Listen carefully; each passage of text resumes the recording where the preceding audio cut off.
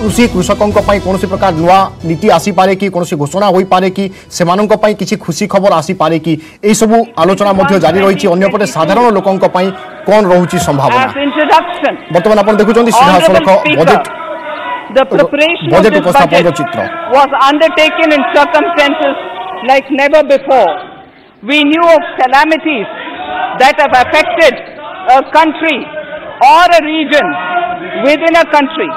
But what we have endured with COVID-19 through 2020 is due sui generis. When I presented the budget 2020-2021, we could not have imagined that the global economy, already in throes of a slowdown, would be pushed into an unprecedented contraction. We could have also imagined, we could not have also imagined then that our people, as those in other countries, would have to endure the loss of near and dear ones and suffer hardships brought about due to a health crisis the risk of not having a lockdown was far more, far too high. Within 48 hours of declaring a three-week long complete lockdown, the Prime Minister announced the Pradhan Mantri Garib Kalyan Yojana, valued at 2.76 lakh crores, that provided free food, free food grain to 800 million people free cooking gas for 80 million families for months and cash directly to over 400 million farmers, women, elderly, the poor and the needy. Even as a large section of citizens stayed home, milk, vegetables, fruit suppliers, health and sanitary workers, truck drivers, railways and public transport workers, bank employees, electricity workers, our annadatas, police, firemen and the armed forces all had to go about their work as normal, but with the additional anxiety of the virus hanging over them. We recognize this and I think I speak on behalf of everybody in this august house when I express my heartfelt gratitude to these men and women for how they were able to carry out their work and duty to provide for the nation's basics over those crucial months.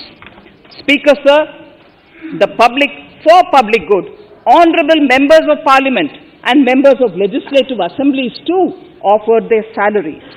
In May 2020, the government announced the Atmanirbhar Bharat package to sustain the recovery. Further into the year, we also rolled out two more Atmanirbhar packages, two and three. Total financial impact of all the Atmanirbhar Bharat packages, including measures taken by the RBI, was estimated to be about 27.1 lakh crores, which amounts to more than 13% of our GDP. As a government, we kept a watch on the situation and were proactive in our responses. The government, led by the Prime Minister, stretched its resources to deliver for most vulnerable sections of our society the poorest of the poor, the Dalits, the tribals, the elderly, the migrant workers, and our children. The Pradhan Mantri Garib Kalyan Yojana, the three Atmanirbhar packages, and announcements made later were like five mini budgets in themselves.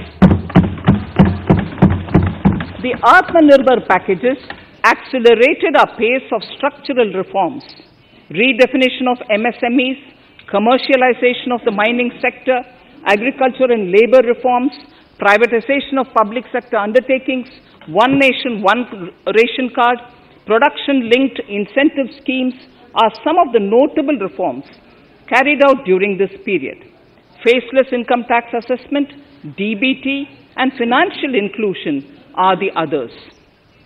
Today, India has two vaccines available and has begun medically safeguarding not only her own citizens against COVID 19 but also those of 100 or more countries. It is added comfort to know that two or more vaccines are also expected soon. Honorable Prime Minister launched the vaccination drive by crediting and thanking our scientists. We are ever grateful for the strength and rigor of their efforts. Having said that, we are all reminded time and again that our fight against COVID 19 continues into 2021. Now, just as it happened after the two world wars, there are signs that the political, economic, and strategic relations in the post COVID world are changing. This moment in history is the dawn of a new era, one in which India is well poised to truly be the land of promise and hope. I borrow the words of Rabindranath Tagore Faith is the bird that feels the light and sings when the dawn, is still dark. Faith is the bird that feels the light and sings when the dawn is still dark. In this spirit, I can't help but recall the joy that we as cricket-loving nation felt after the Team India's recent spectacular success in Australia. It has reminded us of all the qualities that we as a people, particularly our youth, epitomize of having abundant promise and the unsuppressed thirst to perform and to succeed. Today, data shows that India now has one of the lowest death rate of 112 per million population and one of the lowest active cases of about 130 per million. This has laid the foundation to the revival we are seeing now in the economy. This budget will be the first of this new decade. This budget will also be a digital budget, and that has happened with all your support. So far, only three times has a budget followed a contraction in the economy. All such contractions earlier were as a result of situations typical to India. This time, the contraction in our economy is due to a global pandemic, just like, the several other, just like in several other countries. Having said that, I want to confidently state that our government is fully prepared to support and facilitate the economy's reset.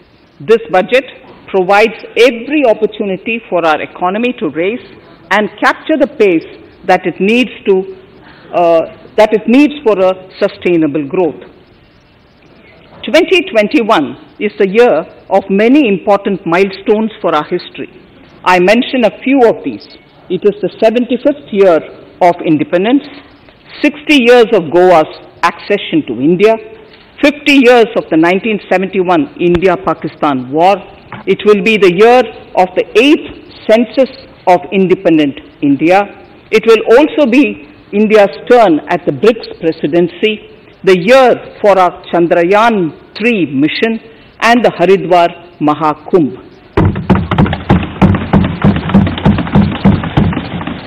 Honorable Speaker, before I commence part A of the budget, I want to take a moment to acknowledge how isolating and distancing seemed like insurmountable challenges for a country like ours that has people coming together in times of crisis. It hurts us in many ways. It hurt us in many ways. I bow my head in respect to every citizen for the endurance shown in facing what was an undeniably a tough year for all our physical and mental well-being. Part A. In Part A, I wish to lay a vision for Atmanirbhar Bharat. Atmanirbhar Bharat or Atmanirbharta is not a new idea.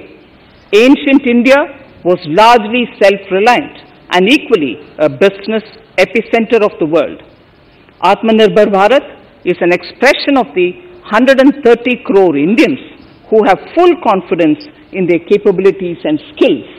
We are already part of international groupings such as the G20 and the BRICS, the Coalition for Disaster Resilient Infrastructure, and the International Solar Alliance are realities today due to India's efforts.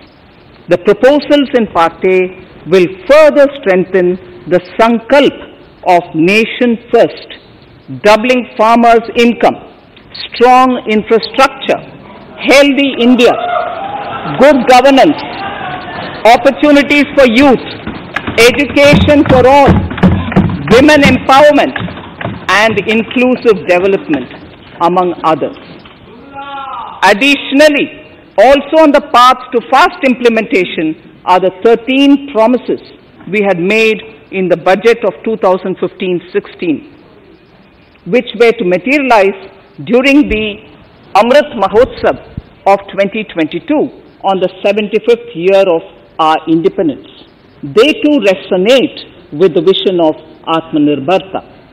The budget proposals for 21-22 rest on six pillars, health and well-being, physical and financial capital and infrastructure, inclusive development for aspirational India, reinvigorating human capital, innovation and R&D, and a sixth, minimum government and maximum governance. I now move to talking about the first pillar, health and well-being. Even at the outset, I would like to say that the investment on health infrastructure in this budget has increased substantially. Progressively, as institutions absorb more, we shall commit more. Taking a holistic approach to health, we focus on strengthening three areas preventive, curative, and well being. Health systems. A newly, new centrally sponsored scheme PM Atmanirbhar Swasth Bharat Yojana will be launched with an outlay of about 64,180 crores over six years. This will develop capacities of primary, secondary and tertiary care health systems, strengthen existing national institutions and create new institutions to cater to detection and cure of new and emerging diseases. This will be in addition to the National Health Mission. The main interventions under the scheme are support for over 17,000 rural and 11,000 urban health and wellness centers, setting up integrated public health labs in all districts and 30 and 3,382 block public health units in 11 states establishing criti critical care hospital blocks in 602 districts and 12 central institutions. Strengthening of National Center for Disease Control, its five regional branches and 20 metropolitan health surveillance units. Expansion of the integrated health information portal to all states and UTs to connect all public health labs, operationalization of 17 new public health units, and strengthening of 33 existing public health units at points of entry, that is, at 32 airports, 11 seaports, and 7 land crossings. Setting up of 15 health emergency operation centers and 2 mobile hospitals. And setting up of a national institution for One Health, a regional research platform for WHO, World Health Organization, Southeast Asia Region Office, nine biosafety level 3 laboratories, and four regional national institutes for virology.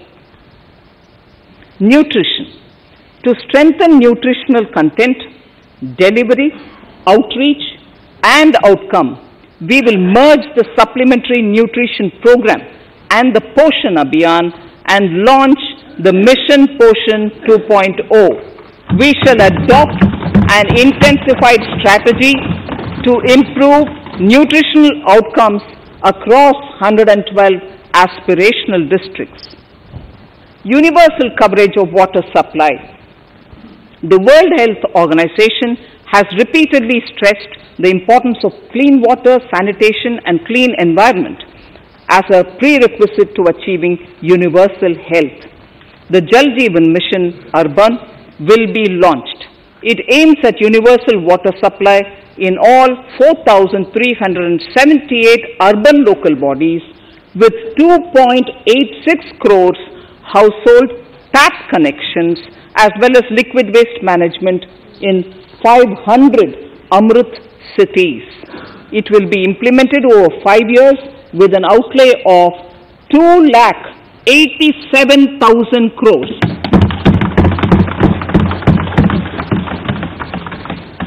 Swachh Bharat and Swasth Bharat. For further Swachhata of urban India, we in- intend to focus on complete fecal sludge management and wastewater treatment, source segregation of garbage, reduction in single-use plastic, reduction in air pollution by effectively managing waste from construction and demolition activities, and bioremediation of all legacy dump sites. The Urban Swachh Bharat Mission 2.0 will be implemented with a total financial allocation of 1 lakh 41,678 crores over a period of 5 years from 2021. Clean air. To tackle the burgeoning problem of air pollution, I propose to provide an amount of 2,217 crores of rupees for 42 urban centers with a million plus population in this budget. Scrapping policy. We are separately announcing, Honorable Speaker, a voluntary vehicle scrapping policy to phase out old and unfit vehicles. This will help in encouraging fuel efficient, environment friendly vehicles, thereby reducing vehicular pollution and oil import bills. Vehicle, vehicles would undergo fitness tests in automated fitness centers after 20 years in case of personal vehicles and after 15 years in case of commercial vehicles. Details of the scheme will be separately shared by the ministry. Vaccines. The pneumococcal vaccine, a made in India product, is presently limited to only five states. It will be rolled out across the country. This will avert more than 50,000 child deaths annually. Honorable Speaker, I have provided 35,000 crores of rupees for COVID-19 vaccine in this year 21-22. I am committed to provide further funds if required.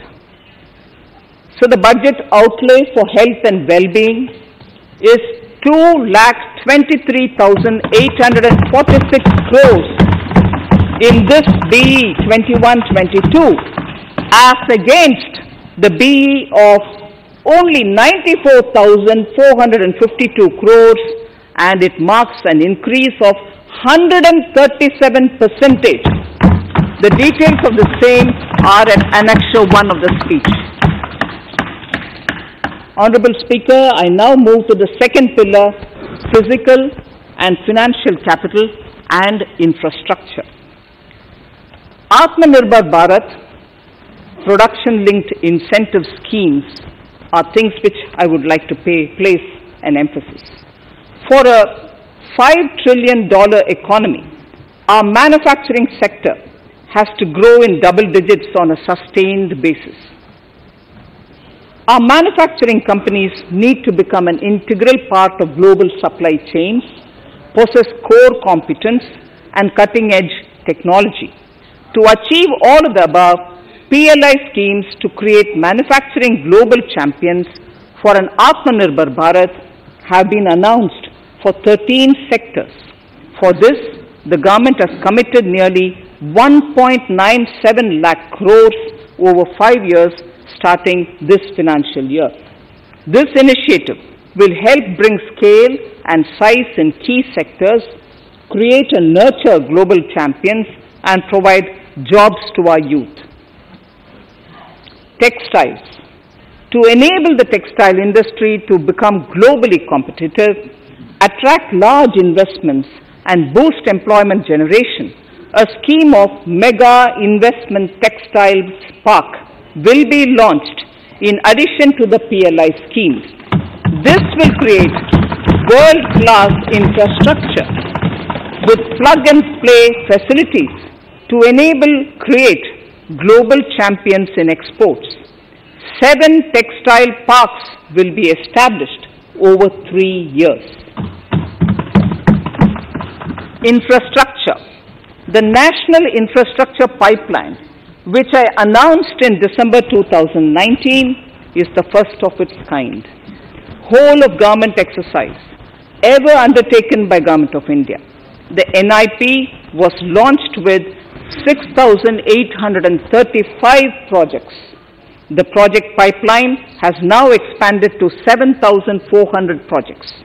Around 217 projects worth rupees 1.10 lakh crores under some key infrastructure ministries have been completed.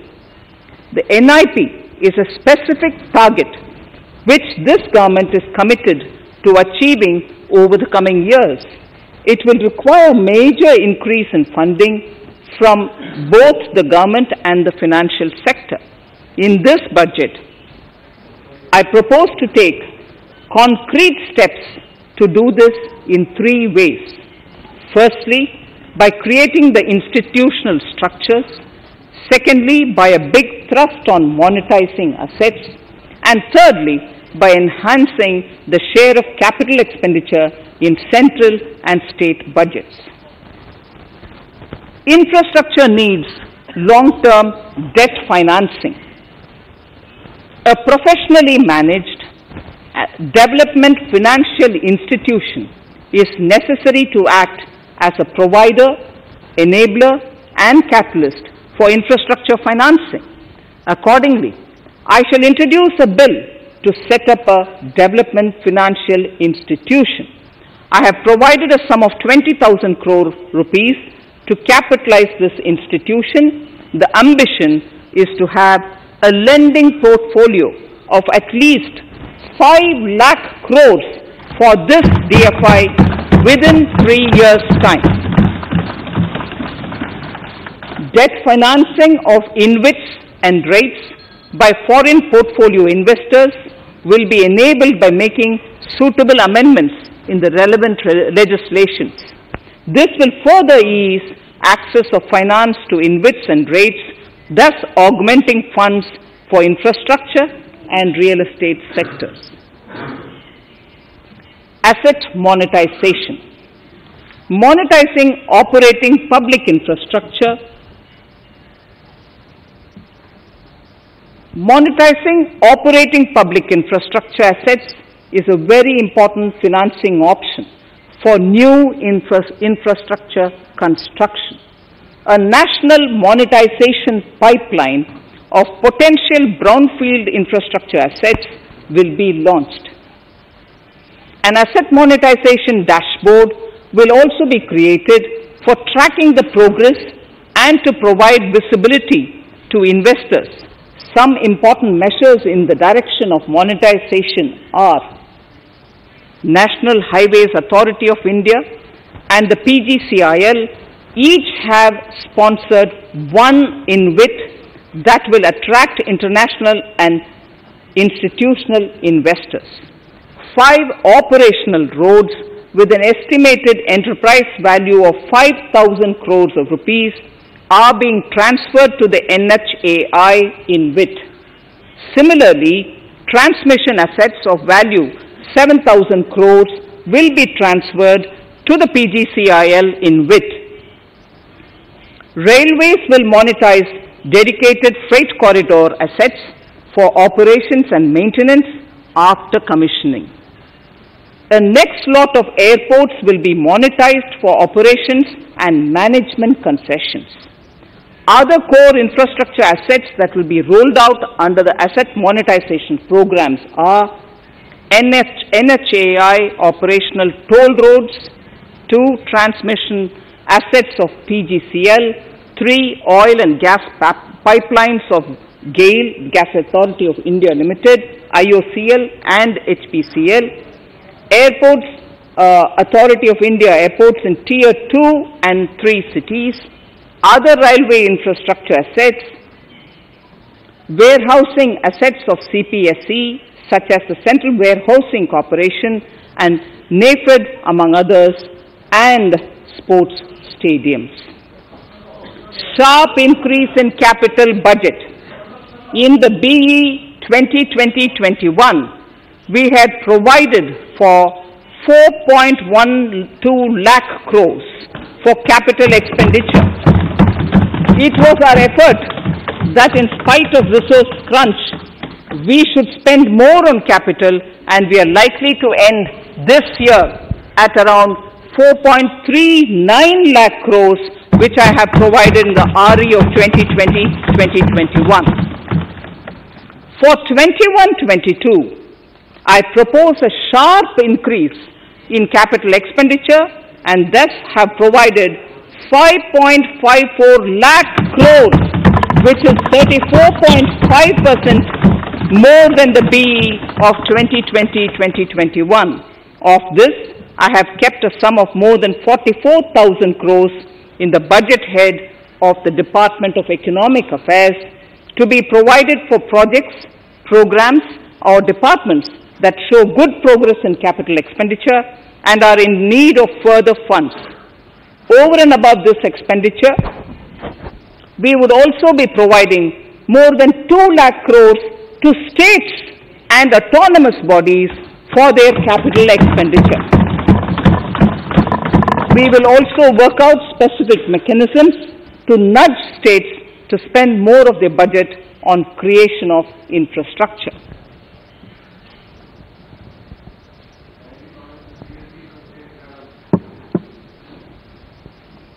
Roads and highways infrastructure. More than 13,000 kilometer length of roads at a cost of 3.3 lakh crores has already been awarded under the 5.35 lakh crores Bharat Bharatmala Pariyojana project, of which 3,800 kilometers have been constructed. By March 2022, we would be awarding another 8,500 kilometers and complete an additional 11,000 kilometers of national highway corridors. To further augment road infrastructure, more economic corridors are also being planned. Some are 3,500 kilometer of national highway works in the state of Tamil Nadu at an investment of 1.03 lakh crores. These include these include Madurai Kollam corridor, Chittoor Thatchur corridor and construction will start next year. Second, 1100 kilometer of national highway works in the state of Kerala at an investment of 65,000 crores including including 600 kilometer section of Mumbai Kanyakumari corridor in Kerala. Third, 675 kilometer of highway works in the state of West Bengal at a cost of at a cost of 25,000 crores including up upgradation of existing road Kolkata Siliguri.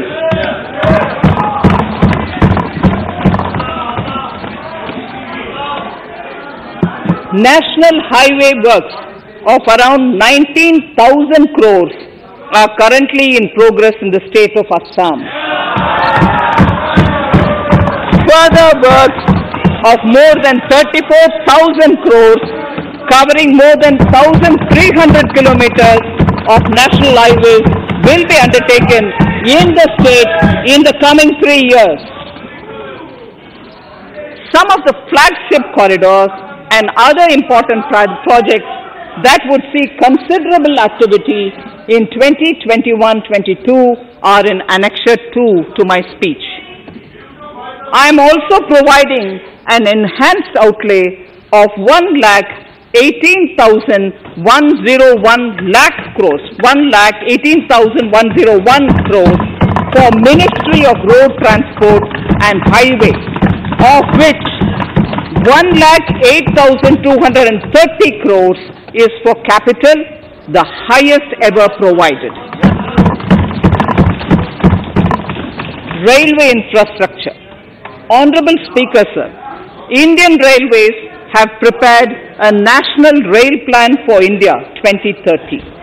The plan is to create a future-ready railway system by 2030, bringing down the logistic costs for, a, for an industry is at the core of our strategy to enable Make in India.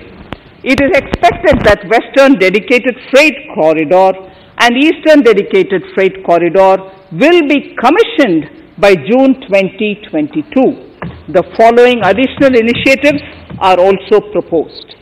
The Sonnagar Gomoh sections, 263 kilometers of Eastern Dedicated Freight Corridor will be taken up in PPP mode in this year itself. Gomoh Dankuni section of 274.3 kilometers will be also taken up short, shortly in short success, succession. We will undertake future dedicated freight corridor projects, namely East Coast Corridor from Kharagpur to Vijayawada, East-West Corridor from Bhusaval to Kharagpur to Dankuni, and North-South Corridor from Itarsi to Vijayawada. Detailed project reports will be undertaken in the first phase. Broad gauge route kilometers, RKM as I refer to, electrified is expected to reach 46,000 kilometers, 46,000 RKM. That is 72% by end of 2021 from 41,548 RKMs on 1st October 2020. 100% electrification of broad gauge routes will be completed by December 2023. For passenger convenience and safety, the following measures are being proposed. We will introduce the aesthetically designed Vista Dome LHB coach on tourist routes to give better travel experience to passengers. The safety measures undertaken in the past few years have borne results.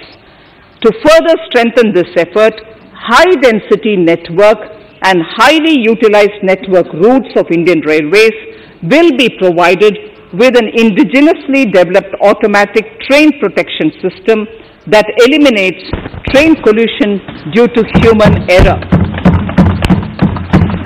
I am providing a record sum of 1 lakh 10,055 crores for railways, which, of which 1 lakh 7,100 crores is for capital expenditure only. Urban infrastructure. We will work towards raising the share of public transport in urban areas through expansion of metro rail networks and augmentation of city bus services. A new scheme will be launched at a cost of 18,000 crores to support augmentation of public bus transport services. The scheme will facilitate deployment of innovative PPP models to enable private sector players to finance, to acquire, to operate and to maintain over 20,000 buses. The scheme will boost the automobile sector, provide fillip to economic growth, create employment opportunities for our youth and enhance ease of mobility for urban residents. A total of 702 kilometers of conventional metro is operational and another 1016 kilometers of metro and RRTS is under construction in 27 cities. Two new technologies, that is MetroLite and Metro Neo, will be deployed to provide metro rail systems at much lesser cost with same experience, convenience and safety in tier 2 cities and peripheral areas of tier 1 cities also. Central counterpart funding will be provided to Kochi Metro Railway Phase 2 of 11.5 kilometer at a cost of 1,957.05 crores. Chennai Metro Railway Phase 2 of 118.9 kilometers at a cost of 63,246 crores. Bengaluru Metro Railway Project Phase 2A and 2B of 58.19 kilometers at a cost of 14,788 crores. Nagpur Metro Rail Project Phase 2 and Nashik Metro at a cost of 5,976 crores and 2,092 crores respectively. Power infrastructure.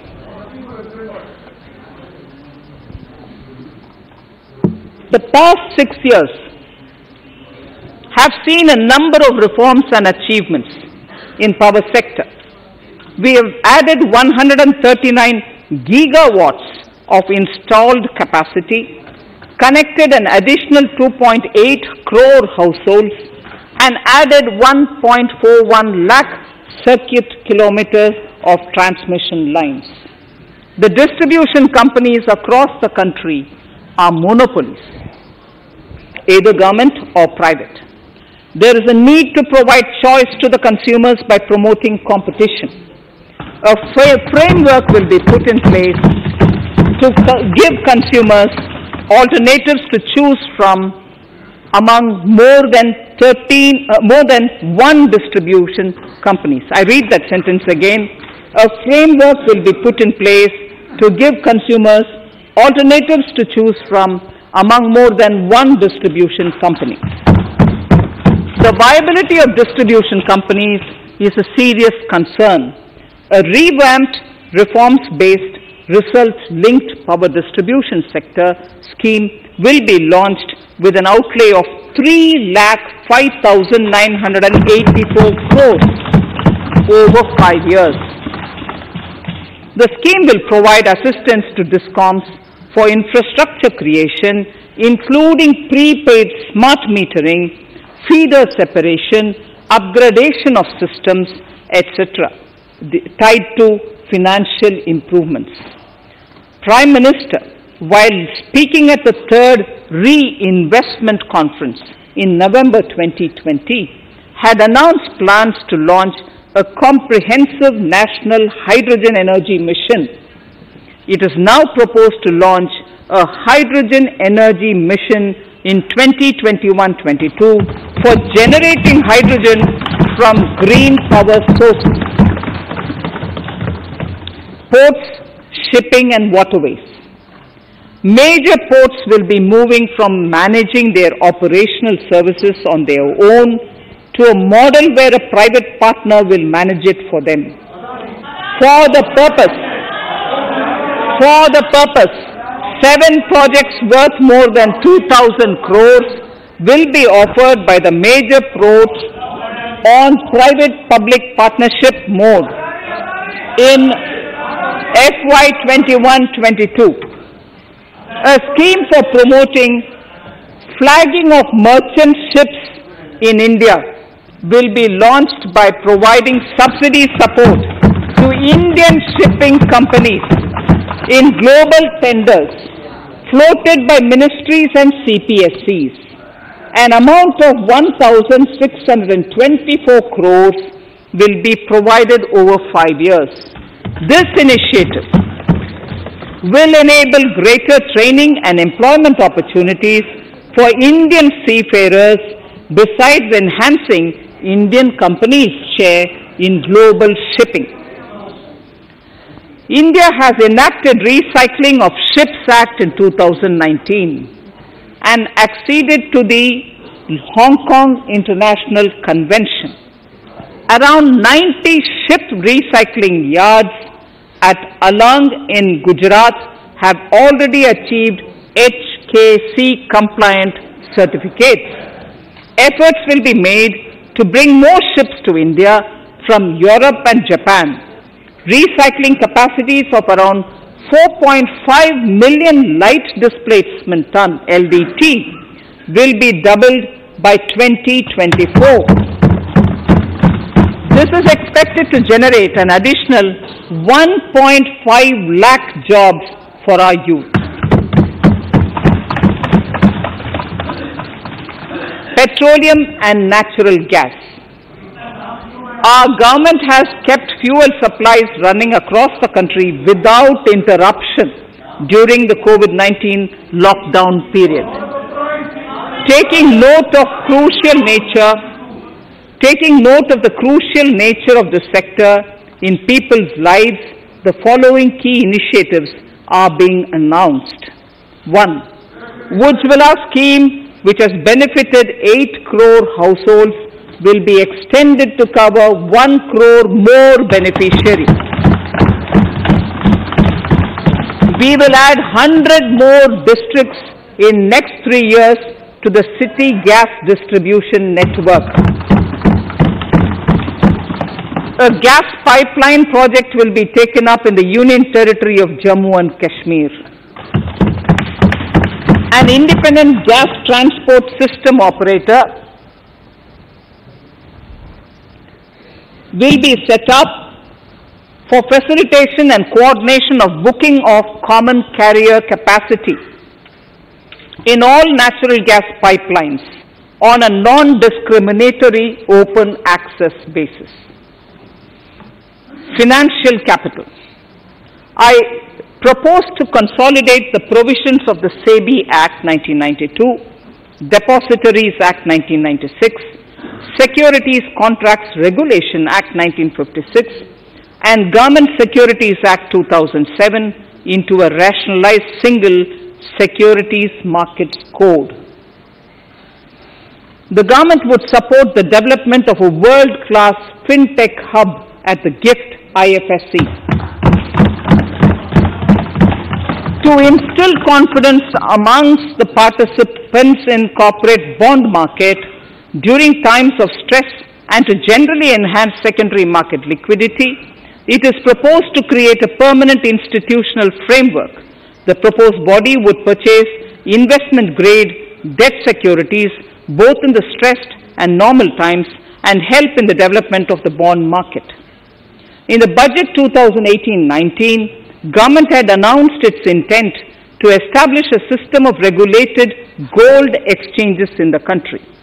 For the purpose, SEBI will be notified as the regulator and Warehousing Development and Regulatory Authority will be strengthened to set up a commodity market ecosystem arrangement including vaulting, assaying, logistics, etc., in addition to warehousing. Towards investor protection, I propose to introduce an investor charter as a right of all financial investors across all financial products. To give a further boost to the non-conventional energy sector, I propose to provide additional capital infusion of 1000 crores to Solar Energy Corporation of India and 1500 crores to Indian Renewable Energy Development Agency. I propose to amend the Insurance Act 1938 to increase the permissible FDI limit from 49% to 74% in insurance companies and allow foreign ownership and control with safeguards. Under the new structure, the majority of directors on the board and key management persons would be resident Indians with at least 50% of directors being independent directors and specified percentage of profits being retained as general reserve. Stressed asset resolution by setting up a new structure. The high level of provisioning by public sector banks of their stressed assets calls for a measure to clean up the bank books. An asset reconstruction company limited an asset management company would be set up to consolidate and take over the existing stressed debt and then manage and dispose of the assets to alternative investment funds and other potential investors for eventual value realization. Recapitalization of PSB. To further consolidate the financial capital capacity of PSBs, further recapitalization of 20,000 crores is proposed in 21-22. Deposit insurance. Last year, government had approved an increase in the deposit insurance cover from 1 lakh rupees to 5 lakhs for bank customers. I shall be moving amendments to DICGC Act 19, 1961 in this session itself to streamline the provision so that if a bank is temporarily unable to fulfill its obligations, the depositors of such bank can get easy and time-bound access to their deposits to the extent of the deposit insurance cover. This would help depositors of banks that are currently under stress. To improve credit discipline while continuing to protect the interest of small borrowers for NBFCs with minimum asset size of 100 crores, the minimum loan size eligible for debt recovery under the securitization and reconstruction of financial assets and the Enforcement of Security Interests SARFAESI Act 2002, it is proposed to be reduced from the existing level of 50 lakhs to 20 lakhs. Company matters. The decriminalization of the procedural and technical compoundable offences under Companies Act 2013 is now complete. I now propose to take up decriminalization of the Limited Liability Partnerships Act 2008. Honorable Speaker, I propose to revise the definition under, under the Companies Act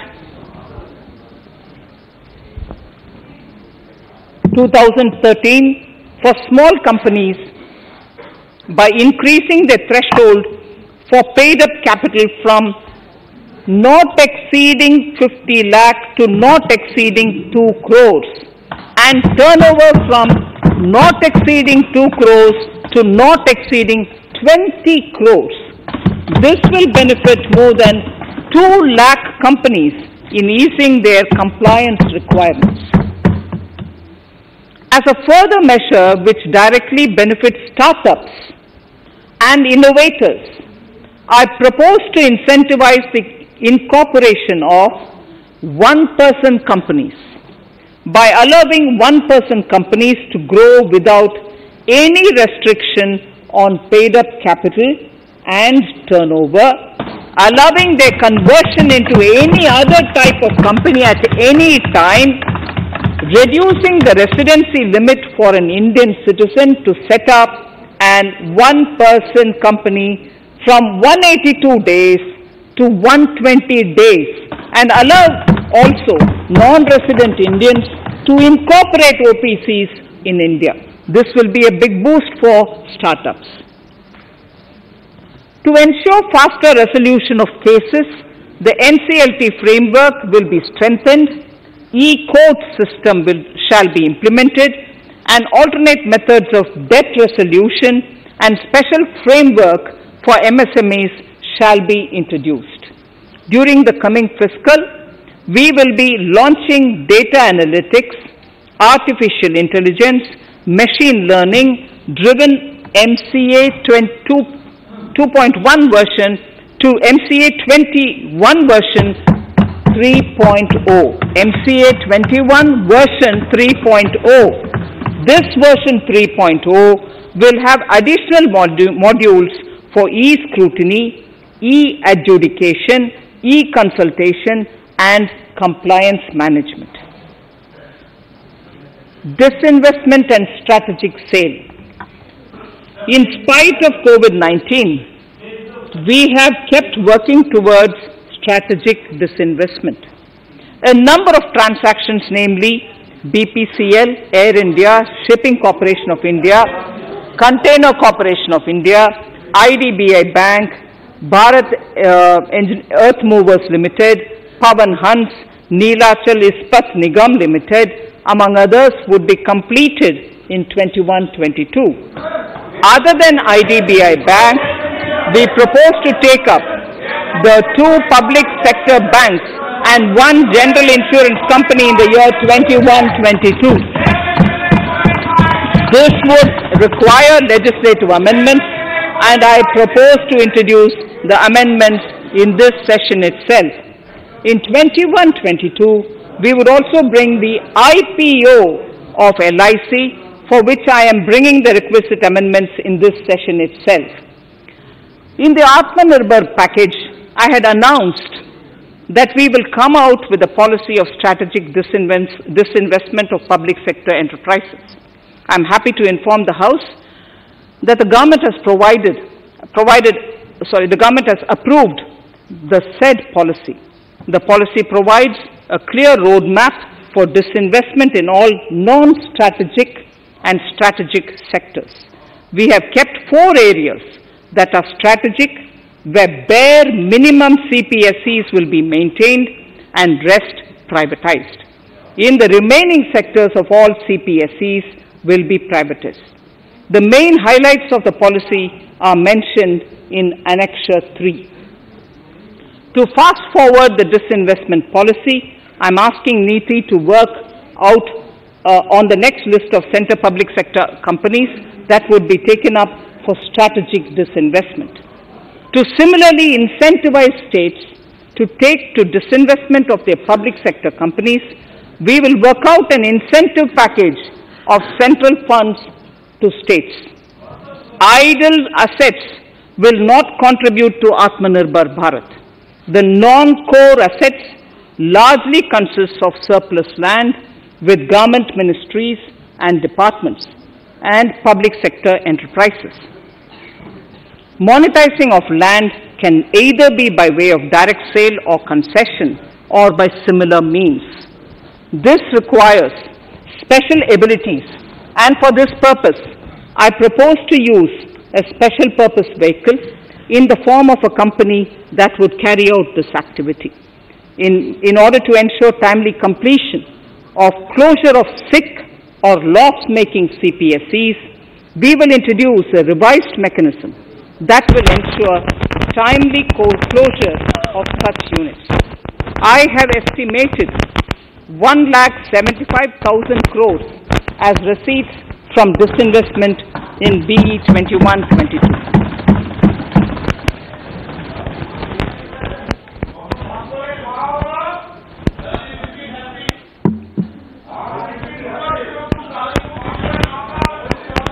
Government financial reforms.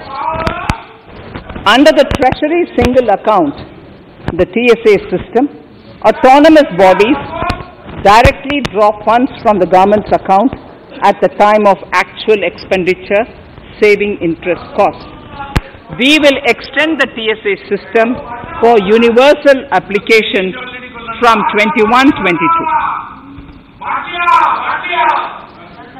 On the recommendation of the 15th Finance Commission, we have undertaken a detailed exercise to rationalize and bring down the number of centrally sponsored schemes. This will enable consolidation of outlays for better impact. The government is committed to the development of multi-state cooperatives and will provide all support to them. To further streamline the ease of doing business for cooperatives, I propose to set up a separate administrative structure for them. So the third pillar of Atmanirbhar Bharat, inclusive development for aspirational India. Honorable Speaker, sir, under this pillar, I will cover agriculture and allied sectors, farmers' welfare and rural India, migrant workers and labor, and financial inclusion. Agriculture. Our government is committed to the welfare of farmers. The MSP regime has undergone a sea change to assure price that is at least 1.5 times the cost of production across all commodities.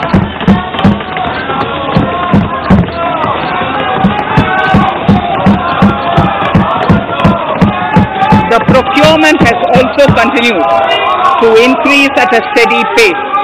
This has resulted in increase in payment to farmers substantially. In case, in case of wheat, a total amount paid to farmers in 2013-14. Honorable Speaker, sir, Honorable Speaker, sir, the data that I give now is important for all honorable members to kindly hear. In case of wheat, the total amount paid to farmers in 2013-14 was 33,874 crores. In 2019-20, it was 62,802 crores.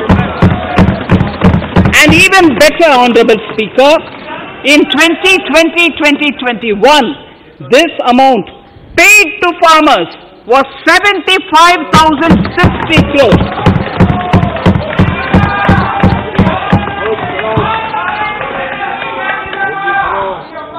Honorable Speaker, again an important fact. The number of wheat growing farmers that were benefited increased in 2020-21 to 43.36 lakhs compared to compared to 35.57 lakhs in 2019-20. That much of an increase within one year. For paddy, again an important data. For paddy, the amount paid in 2013-14 was 63,928 crores.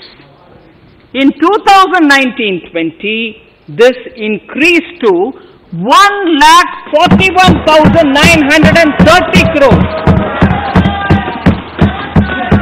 Even better, even better, in 2020-2021, this is further, this in 2020-21, in 2020-21, this is further estimated, and I'm saying this is further estimated because the procurement is ongoing, and therefore I can't give you the final figure. This is further estimated to increase to 1,72,752 crores. The number of farmers benefited increased from 1.24 crores in 2019-20 to 1.54 crores in 2020-21. In the same way, Honorable Speaker, sir, in the case of pulses, the amount paid in 2013-14 was 236 crores. In 2019-20, this was increased to 8,285 crores. Now, now in 2021, it is at 10,530 crores. More than 40 times increase from 2013-14. The receipts to cotton farmers, cotton farmers, have seen a stupendous increase from 90 crores in 2013-14 to 25,974 crores in, I'm giving you data as of 27th January 2021, this is bound to increase. From 90 crores for cotton farmers in 2013-14 to 25,974 crores in 2021. All the details in complete narration is available in Annexure 4 to my speech. Early this year, Honorable Prime Minister had launched the Swamitva scheme. Under this, a record of rights is being given to property owners in villages. Up till now, about 1.80 lakh property owners in 1,241 villages have been provided cards. I propose during 21-22 to extend this to cover all states and union territories. To provide adequate credit to our farmers, I have enhanced the agricultural credit target to 16.5 lakh crores in this year. We will focus on ensuring increased credit flow to animal husbandry, Pashupalan, dairy, and to Matsyakar, to the fisheries. We are enhancing the allocation to the Rural Infrastructure Development Fund from 30,000 crores to 40,000 crores. The micro irrigation fund with a corpus of 5,000 crores has been created under NABARD. I propose to double it by augmenting it by another 5,000 crores. To boost value addition in agriculture and allied products and their exports, the scope of Operation Green Scheme that is presently applicable to only tomatoes, onions and potatoes will be enlarged to include 22 perishable crops.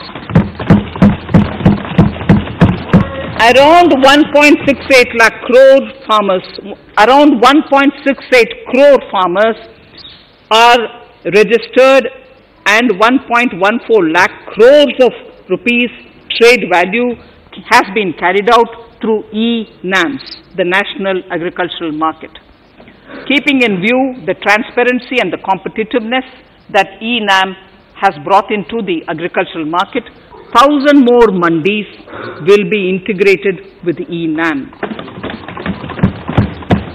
Honorable Speaker, sir, with all this, the Agricultural Infrastructure Fund would be made available to the APMCs for augmenting their infrastructure facilities.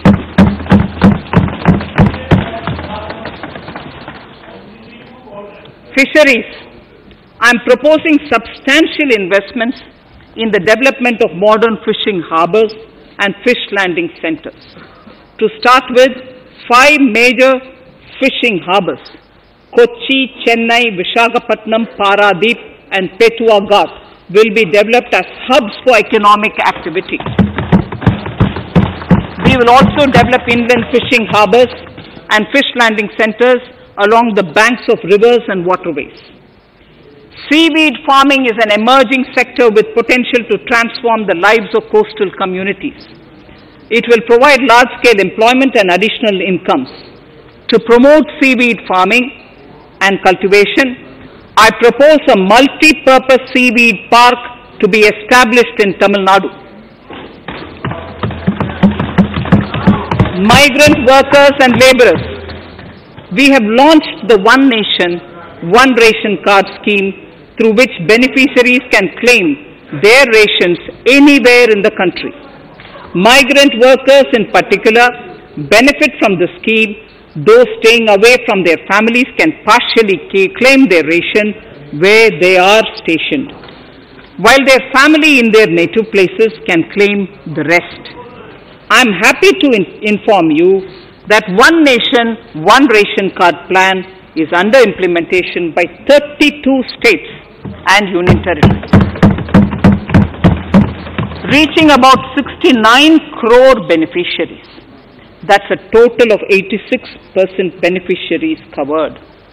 The remaining four states and UTs will be integrated in the next few months.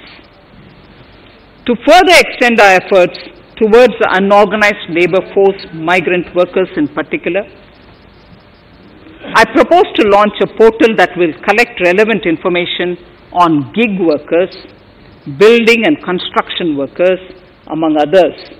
This will help formulate health, housing, skill, insurance credit, and food schemes for all migrant workers. We will conclude a process that began 20 years ago with the implementation of the four labor codes. For the first time globally, social security benefits will be extended to gig and platform workers.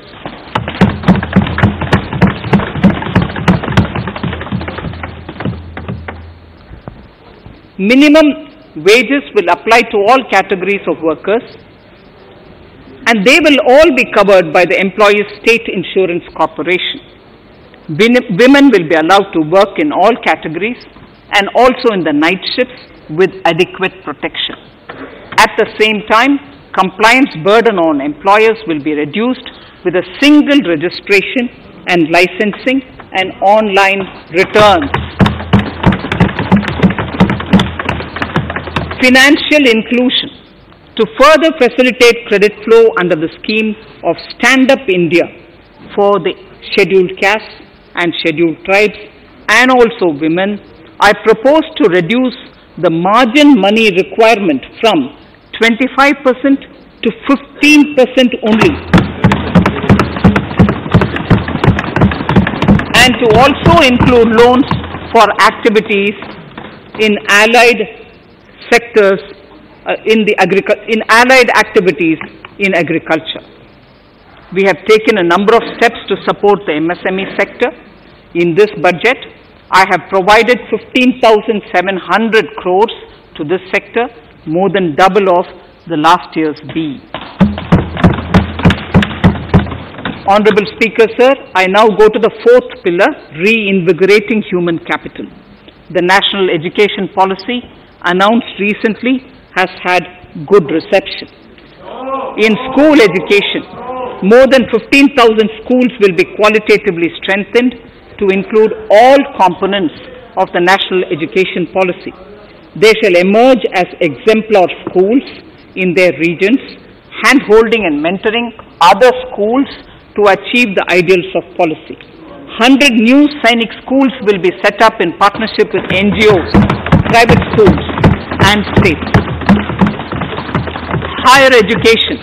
In budget 2019-20, I had mentioned about the setting up of a higher education commission in India. We would be introducing the legislation this year to implement the same. It will be an umbrella body having four separate vehicles for standard setting, accreditation, regulation, and funding. Many of our cities have various institutions, universities, and colleges supported by the Government of India. Hyderabad, for example, has about 40 major institutions. In, in nine such cities, we will create a formal umbrella structure so that these institutions can have better synergy while also retaining their internal autonomy. A glue grant will be set aside for this purpose. For accessible higher education in Ladakh, I propose to set up a central university in Leh.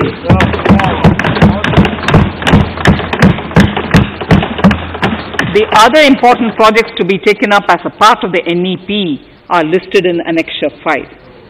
Scheduled caste and scheduled tribes welfare. We have set ourselves a target of establishing 750 Eklavya model residential schools in our tribal areas. I propose to increase the unit cost of each such school from 20 crores, which is what it is now, to 38 crores, and for hilly and difficult areas to 48 crores. This would help creating robust infrastructure facilities for our tribal students. We have revamped the post-matric scholarship scheme for the welfare of scheduled caste students. I have also enhanced the central assistance in this regard. We, have, we are allotting 35,219 crores for six years till 25-26 to benefit 4 crores scheduled caste students.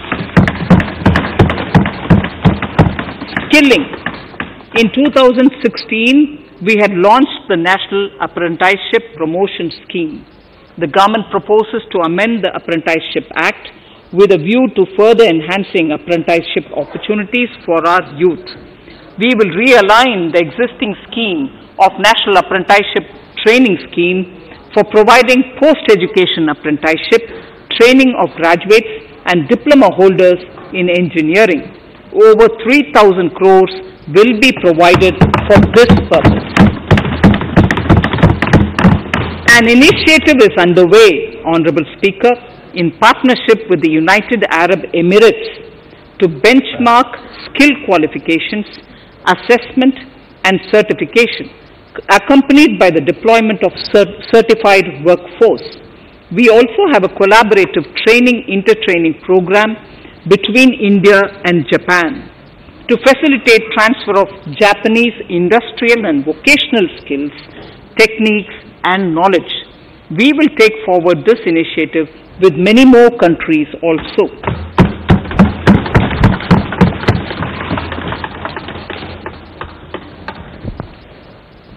Innovation and R&D. In my budget speech of 2019, I had announced the National Research Foundation.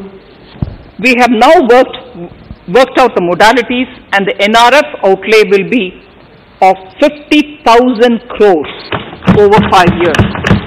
It will ensure that the overall research ecosystem in the country is strengthened with focus on identified national priority thrust areas. There has been a manifold in, there, there has been a manifold increase in digital payments in the recent past.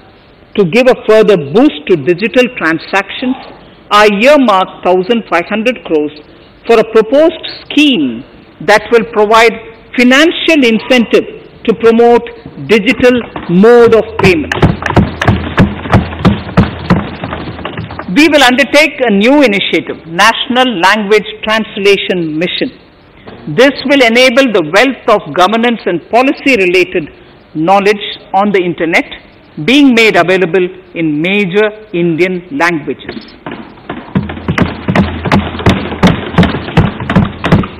The new Space India Limited, a PSU, under the Department of Space, will execute the PSLV CS51 launch, carrying the Am- Amazonia satellite from Brazil, along with a few smaller Indian satellites. As part of the Gaganyaan mission activities, four Indian astronauts are being trained on generic spaceflight aspects in Russia. The first unmanned launch is slated for December 2021. Our oceans are a storehouse of living and non-living resources. To better understand this realm, we will launch a deep ocean mission with a budget outlay of more than 4,000 crores over five years. The- this mission will cover deep ocean survey exploration and projects for the conservation of deep sea biodiversity. I come to the sixth pillar, Honorable Speaker, minimum government, maximum governance. Honorable Speaker, sir, this is the last of the six pillars. This will outline plans for reforms in one of our core principles of minimum government, maximum governance. We have taken a number of steps to bring reforms in tribunals in the last few years for speedy delivery of justice. Continuing with the reforms process, I now propose to take further measures to rationalize the functioning of tribunals. We have introduced the National Commission for Allied Healthcare Professionals Bill in Parliament. National Commission for Allied Healthcare Professionals Bill in the Parliament. With a view to ensure transparent and efficient regulation of 56 allied healthcare professionals. Additionally, to bring about transparency, efficiency, and governance reforms in the nursing profession, the National Nursing and Midwifery Commission Bill will be introduced by the government for passing. To have ease of doing business for those who deal with government or CPSEs and carry out contracts, I propose to set up a conciliation mechanism and mandate it, its use for quick resolution of contractual disputes. This will instill confidence in private investors and contractors. Honorable Speaker, sir, the forthcoming census could be the first digital census in the history of India.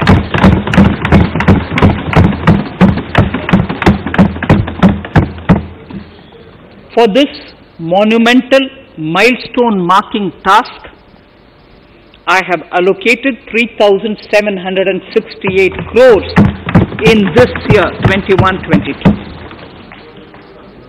Honorable Speaker, Goa is celebrating the Diamond Jubilee year of the state's liberation from Portuguese rule. From the Government of India's side, I propose to grant 300 crores to the Government of Goa for the celebration.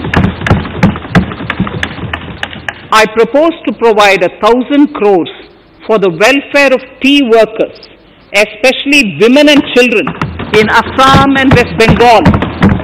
A special scheme will be devised for the same.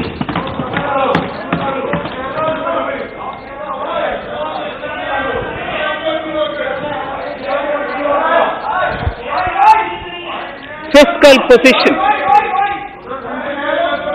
Fiscal position. In these last few paragraphs, in these last few paragraphs of part of my speech, I draw the attention of this August House to the fact that at the beginning of the current financial year, the pandemic's impact on the economy resulted in a weak revenue flow, weak revenue inflow. This was combined with high expenditure to provide essential relief to vulnerable sections of the society, especially the poor, the women, scheduled castes, and scheduled tribes.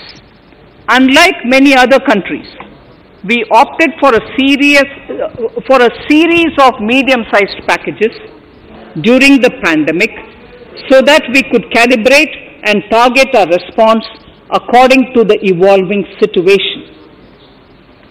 Once the health situation stabilized and the lockdown was being slowly lifted, we switched to ramping up government spending so as to revive domestic demand. As a result, against, as a result, against an original BE expenditure of 30.42 lakh crores for 2020-21, our RE estimates are 34 lakhs, 34.50 lakhs. 30.42 now within the year going up to 34.5 lakh crores. We have maintained quality of expenditure. The capital expenditure estimated in the RE is 4.39 lakh crores as against 4.12 lakh crores in the BE stage. So the beginning of the year we had marked only 4.12 lakh whereas it is 4.39 lakh crores as we end the year fiscal deficit in RE 2020-2021 is pegged at 9.5% of the GDP. Fiscal deficit in RE 2020 to 2021 is pegged at 9.5% of GDP. We have funded this through government borrowings, multilateral borrowings, small saving funds, and short-term borrowings. We would need another 80,000 crores for which we would be approaching the market in these two months. We would be needing another 80,000 crores for which we would be approaching the markets in these two months. To ensure that the economy is given the required push, our BE estimates for expenditure in 21-22 are 34.83 lakh crores.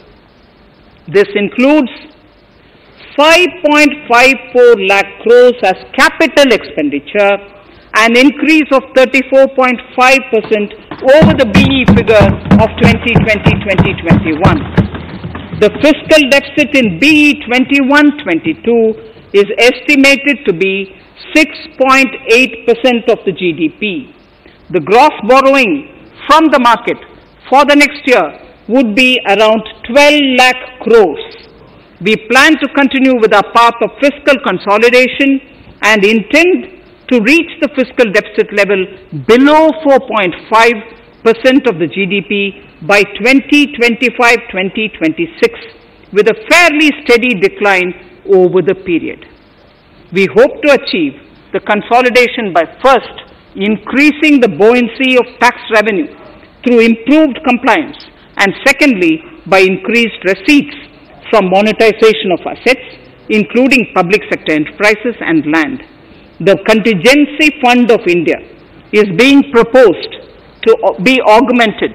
The contingency fund of India is being proposed to be augmented from 500 crores to 30,000 crores through finance.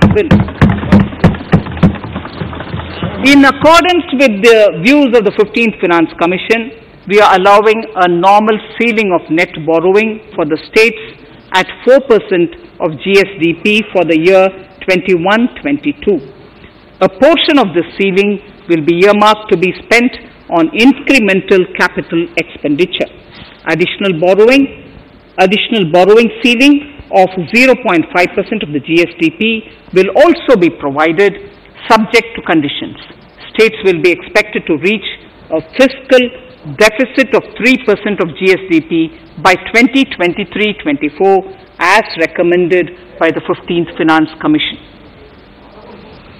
In the July 2019-20 budget, I introduced the Statement 27 on extra budgetary resources. It disclosed the borrowings of the government agencies that went towards funding Government of India schemes and whose repayment burden was on the government. In my 2020-21 budget, I, I enhanced the scope and coverage of that statement by including the loans provided by government to the FCI, the Food Corporation of India. Taking a step further in this direction, I propose to discontinue the NSSF loan to FCI for food subsidy and accordingly budget provisions have been made in RE 2020-21 and in the BE 2021-22. The extra budgetary resource details are at Annexure 6. We know that the FRBM Act mandates fiscal deficit of 3% of GDP to be achieved by 31st March 2020-2021. The effect of this year's unforeseen and unprecedented circumstances has necessitated the submission of a deviation statement under sections 5 under sections 4 of um, subclause 5 and section 7 subclause 3 uh, 3b of the FRBM Act, which I'm laying on the table of the House as part of the FRBM documents.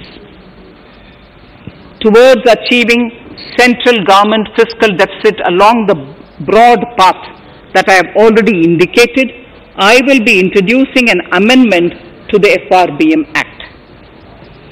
Honorable Speaker, on the 9th of December 2020, the 15th Finance Commission submitted its final report covering the period 2021 to 2026 to the Rashtrapati ji. The government has laid the Commission's report along with the explanatory memorandum in the Parliament re retaining the vertical shares of the states at 41%. We recognize our commitment to fiscal federalism and propose therefore to adhere to this recommendation. Jammu and Kashmir in the 14th Finance Commission was entitled to get devolution being a state. Now the funds of the UTs of Jammu Kashmir and Ladakh would be provided by the centre. I have also provided on the Commission's recommendation 1 lakh 18,452 crores as revenue deficit grant to 17 states in 21-22 as against 74,340 crores to 14 states in 2020-21. Honorable Speaker, I would now move to part B of my speech.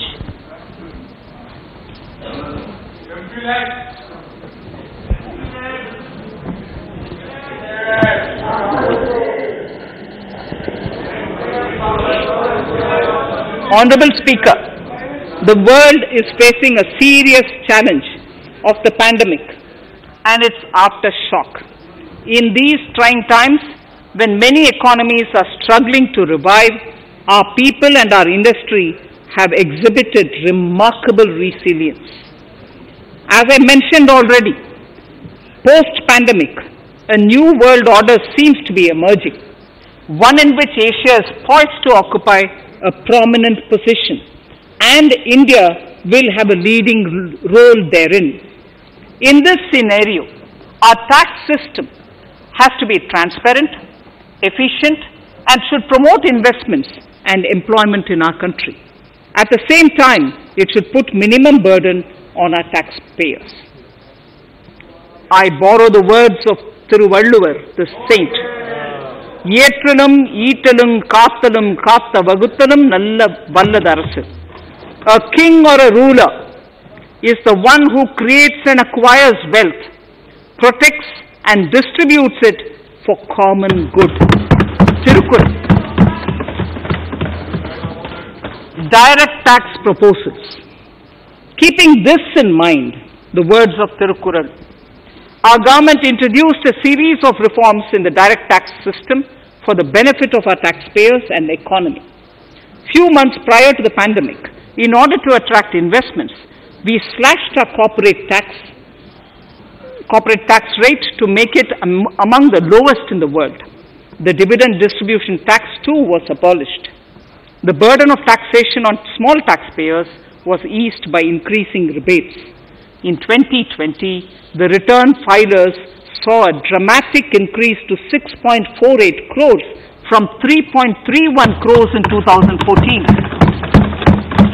In the direct tax administration, we had recently introduced the faceless assessment and faceless appeal. I now seek to take further steps to simplify the tax administration, ease compliance, and reduce litigation. Relief to senior citizens.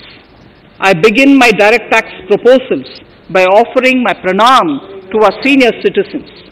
Many of them, despite having foregone several basic necessities of their own, have strived